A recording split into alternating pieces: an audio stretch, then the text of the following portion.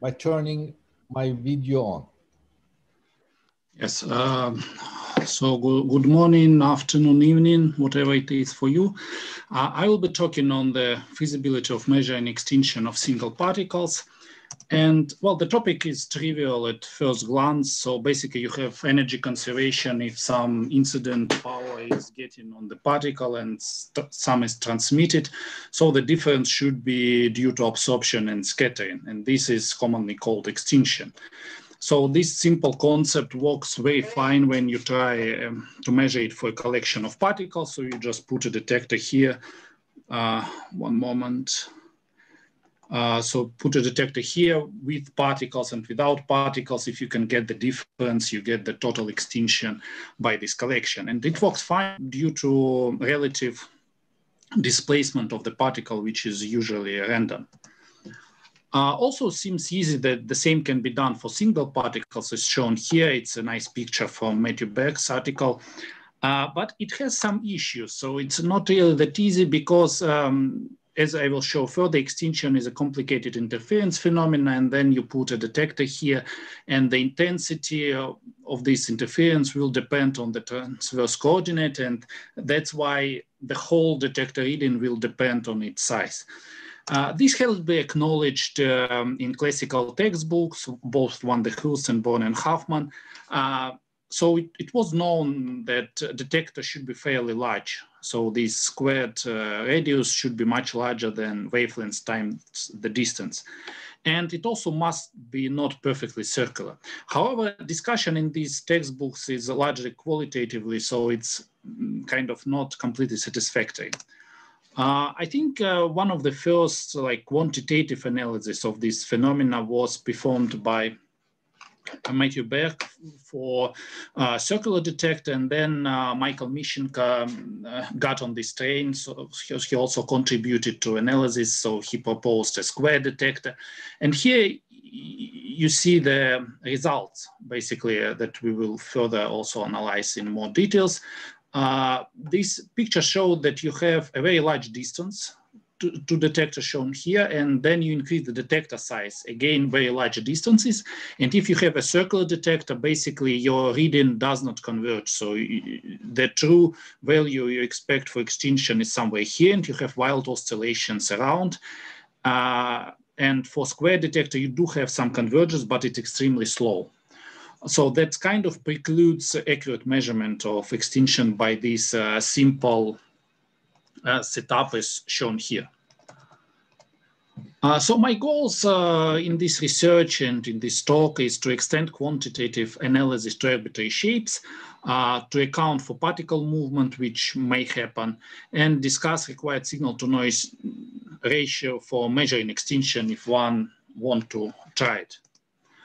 Uh, so the problem setting is rather trivial uh, so we have interference between spherical and plane waves in the far field. Again, a nice picture by Matthew Berg.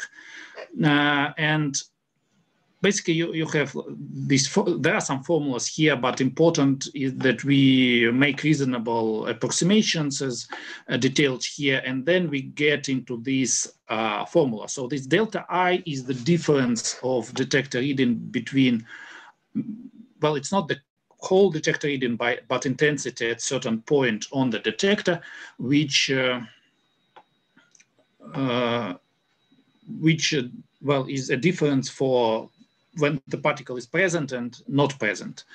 And here you see that uh, you have the scattering amplitude, the incident field, and then this term, which become very important. And we define this as eta for conciseness. So if we want a total signal or total difference uh, signal by the detector, we need to integrate it over the detector surface.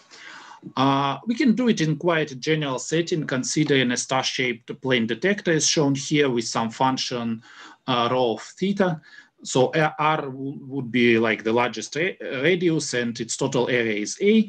Uh, and well, we can do this integration over rho, then we're left only with integral over theta. So if we define it and we will analyze it further, then our uh, reading, uh, well, th there should be no R here, it just depends on uh, just the total difference intensity. Uh, so you have this expression. And this one, it corresponds to standard extinction. So if you remember a formula from Bohren-Huffman, it will, it will just end here, the square bracket, that would be the extinction cross-section. But here you have some correction. So uh, on nuisance parameter, you can call it. Uh, so let's analyze uh, this integral. Uh, first, if the radius is relatively small, show, shown here, then f is uh, not small at all. So it's actually close to one, and then this will be very different from the extinction that you uh, that you expect to see. Uh, then, uh, if it's order of one, again, you have some complex behavior irrelevant for the extinction. And we may only hope to get small f or goes to zero in the limit of fairly large detector size shown here. But again, immediate conclusion of this expression that you just see here, that if you have a circle, so rho is just constant, then this integral will trivially give you this. And that means that the answer will oscillate with uh, detector uh, area. It will be order of one. So then you will get this oscillation as you saw in numerical example before. Uh, and further to evaluate this f, we can actually consider the stationary phase method.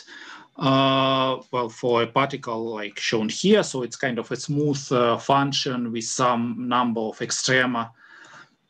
And then contribution from each this extremum in the stationary phase method will be given by this formula well, it's kind of more or less uh, exact, but not very convenient for use. Uh, well, first I know that you can also have a, a, contribution from discontinuous of derivatives. For example, if you take a sphere, uh, not a sphere, a square, then you will have these sharp corners, but th those contributions are smaller. So they're order of one over eta and these are order one over square root of eta. So we can neglect this. And for further analysis, we uh, introduce this measure of deviation from a circle. So that's basically a difference between maximum rho squared over the uh, particle bound, uh, over the detector boundary and the minimum value. And then you can estimate the total integral, or something like that. Uh, so well, you have this simple expression where this uh, gamma is a measure of deviation and eta is uh, k squared over 2z. So then let us see on the implications. Uh, so first we consider some significantly non-circular detector like shown here or a square, for example. Then this gamma will be comparable to r squared. And that means that uh, this uh, correction integral f uh, would be of this order. And that means if you want it to be uh, small, you need these to, to be satisfied. However, these need to be satisfied quadratically. And what I mean by that is that if you want uh, to have this correction of order 1%, then the difference between left and hand side here should be squared of that. So it should be like 10,000 difference. Uh, then again, you can apply it to, for example, a circular detector, but the particle is displaced here from the center. Uh, here, gamma is smaller, so it's not r squared, but uh, r times this, well, potentially small parameter, y, and then, well, you have this equation. And actually for this, you can get an analytical expression, but it will give you the same order of magnitude as shown here. And then you can also get similar result for rough detector boundary. So it's more or less a general analysis, uh, but let us also include particle diffusion uh, for a circular detector we just consider some diffusion, but the characteristic displacement, which is based by diffusion coefficient and some time of diffusion or time of measurement, uh, we assume that it's smaller than radius of the detector. And then, well, you can do some math and obtain the following expression. And if you want, again, this to be small, so this averaged value of f unit c, which is defined here, uh, to be much larger than one. And that means that this value should be much, also much larger than one, but as a square root. So it's by contrast to the previous case here to have this like 1%, uh, it's sufficiently to have this number of order 10 or something. So not, not that large. Uh, looking at this, you may want to increase the diffusion so that the particle will spread over the larger part of the detector area or even go outside, but that's a bad idea because, well, if you consider it a then the main extinction term will differ. So you want the extinction term as shown before to stay the same. That's more or less the stationary point in two dimension that, that you have, but uh, then uh, only the uh, this correction F to decrease. So you can't really make uh, Y not too large here. And this brings us to like some practical implications. So suppose you want to measure your extinction with 1% accuracy. So the main problem here that first you need what I call a good theoretical accuracy. Uh, what that means that uh, you do a a specified measurement of with a single detector, like with particle and without particle, and you want to dif the difference to actually correspond to extinction. And that means that all the previous, uh, well, these uh, kind of expressions uh, should be satisfied, because otherwise the difference will just have a different theoretical expression.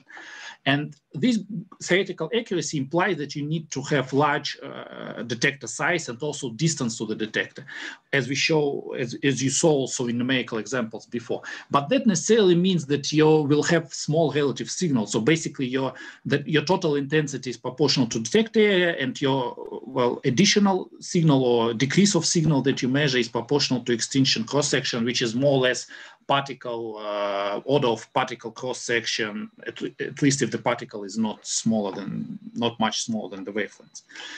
Uh, and then, well, you can actually do some estimates. So for example, you have a non-circular detector and a fixed particle.